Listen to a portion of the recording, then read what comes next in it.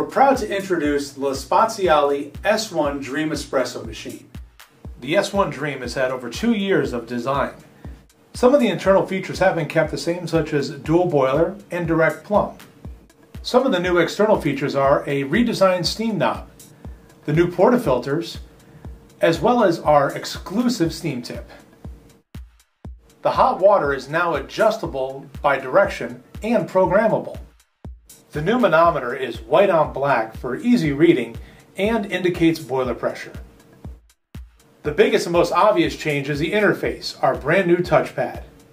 On the touchpad, you'll notice there's icons for single shot, double shot, and semi-automatic operation. Pre-infusion time starts when you start your shot.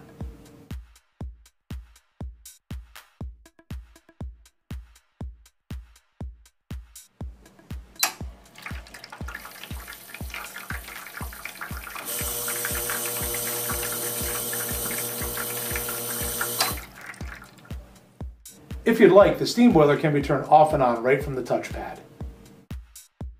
To access programming, hold down the menu button. Once you access the menu, you can scroll through your choices. When you reach the program icon, this is where you can choose your different profiles.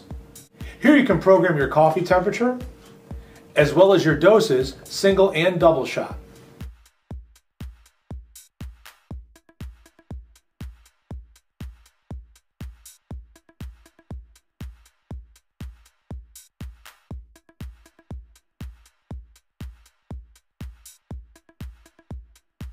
You can also adjust your pre-infusion by turning it on or off and adjust from 1 to 8 seconds.